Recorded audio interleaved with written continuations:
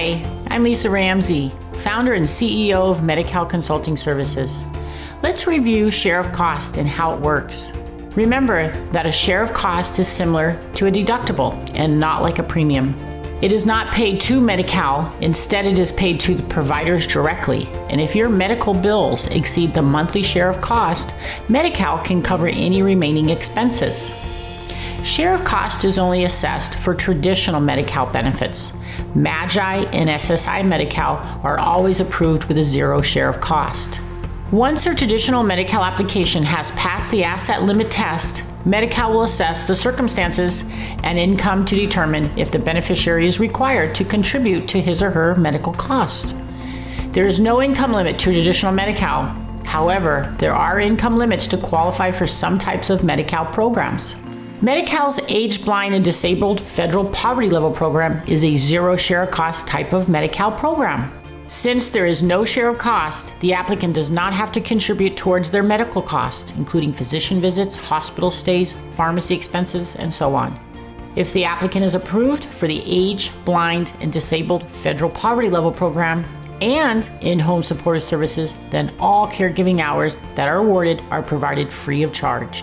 What is countable income? Well, Medi-Cal calculates countable income as gross income minus a $20 income deduction and any medical insurance premiums. The remaining amount is the countable income used to compare to the income limit for the age blind and disabled federal poverty level income limit. Let's look at some examples of the calculations. Jim is a 78 year old unmarried man, and his assets are within the asset limit. He lives in his home, not in an assisted living or skilled nursing facility. Jim will qualify for Medi Cal based on his assets. Medi Cal will then review his circumstances and income to determine if he should have a share of cost. Jim receives a Social Security income of $1,912.60. His Medicare premium is $144.60. He also pays for a supplemental plan in the amount of $320 per month.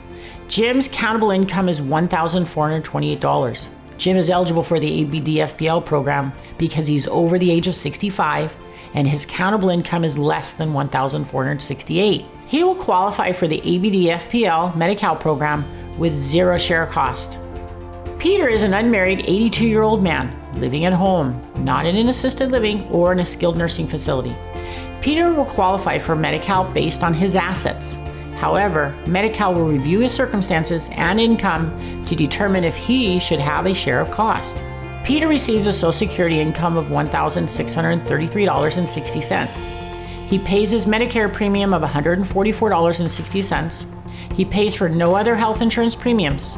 Peter's countable income is $1,469. Peter's countable income is over the limit by $1. Since he's over the limit, He's not eligible for the ABD-FPL program. Peter will be approved for the medically needy program with a share of cost of $869. Something to consider if Peter were to purchase additional health insurance in the amount of $1 or more, the premium would be deducted from his income. This will reduce his income below the income limit and he will qualify for the age, blind, and disabled federal poverty level program and have zero share of cost. Here at MCS, we will help you by explaining how Medi-Cal will determine your current eligibility and share a cost.